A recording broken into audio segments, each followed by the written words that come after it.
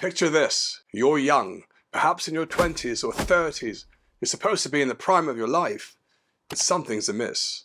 You're constantly drained, uh, lacking motivation. Motivation seems elusive. And that youthful energy you once had, well, it's not as it used to be. Does sound familiar?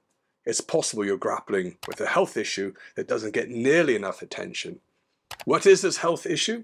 We'll explain shortly. So don't click away just yet. There's more to this story, and we're about to dive right in.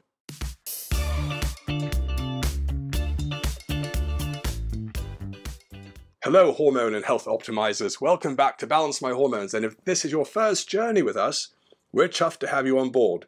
So press that subscribe button and join us as we tackle the mysteries of hormonal health.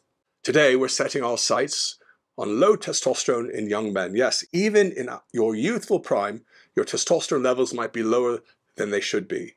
When we discuss testosterone, it's often in the context of the over 30s, over 40s, over 50s crowd. And it's true, testosterone levels naturally decline as we age, but younger lads are not exempt from this hormone upheaval. Symptoms, you might ask. What symptoms might you be experiencing? These may be things like unexplained fatigue, low mood, dwindling libido, even physical changes like a loss of muscle mass. And these signs can often be subtle and often dismissed as just a phase or temporary burnout, and they may be. But one thing to keep in mind if you're not sure, it's important to get a blood test. Even if you're not having any symptoms, if you're younger, it's really important to get a baseline test for where you are. So, why? Why would you want to get this? If you have a baseline test when you feel fully optimized, naturally, as a young person, you'll have a reference point for the future. So, when you go to the doctor the GP and you do a blood test with them and you fall into what they consider a normal range, which we know is really truncated reference ranges. When you when you fall into those ranges, you might be normal, but not normal to where you were when you're optimized. So having that reference range or having that blood test when you're young and healthy will prevent you from being gaslit by the medical establishment. So that's very important uh, to have that baseline and balance your hormones can also help you get those blood tests if you're in the UK, in Ireland, or in Spain. So the signs can be subtle of low testosterone. They're often dismissed as a phase of temporary burnout. A study published in the Journal of Endocrinology and Metabolism in 2012 shed light on this under-discussed issue. And the study concluded that testosterone deficiency is not confined to middle age or later life, but can also affect men as young as 25. And I know it affected me at age 22.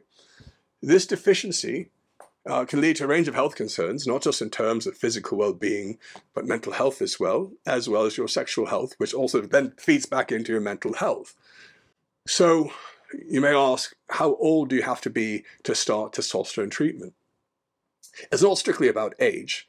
There are multiple factors that need to be considered, such as lifestyle, diet, and existing health conditions. So we can look even further afield, such as your exposure to environmental toxins. These can contribute to early onset testosterone deficiency. And a 2006 study published in the Journal of Andrology found that exposure to environmental toxins such as pesticides and heavy metals could disrupt hormone levels, both males and females, including the hormone testosterone. So, as for treatment for low testosterone in young males, it, it varies from individual to individual. There are bespoke options available, and, and some options can range from just making lifestyle changes to getting enough sleep to reducing your exposure to environmental toxins. All these may have an impact on improving your testosterone uh, level, and um, you may not need to have testosterone replacement therapy. It just depends on your severity of symptoms. So if you're able to change through, uh, and you're young, decreasing body fat, getting enough sleep, reducing stress, you may not need to go on testosterone replacement therapy. But if you do, and, and, and after doing these changes, you still have low levels, maybe over three different blood tests over a period of time, then perhaps testosterone replacement therapy can relieve the, the severity of your symptoms. So if you're enjoying our content, why not give us a like and share the wisdom with others? Subscribe and ring that notification bell so you won't miss out on future hormone health deep dives. Stay tuned because up next, we're going to explore natural methods to boost your testosterone level. You won't want to miss it. We've got a video that we did a few years ago discussing other natural ways to boost testosterone. Are you still with us? Perfect. Now let's delve into the realm of natural testosterone boosters from exercise regimes to dietary tweaks. There's a plethora of options to explore. We've barely scratched the surface today. For more insight into hormonal health, why not explore our channel? We've got a wealth of content awaiting your attention, and you can also visit our website at balancemyhormones.co.uk. So, this is Mike from Balance My Hormones, your beacon in the fascinating world of hormonal health. And until next time, remember knowledge is power, and your journey to wellness starts here with Balance My Hormones.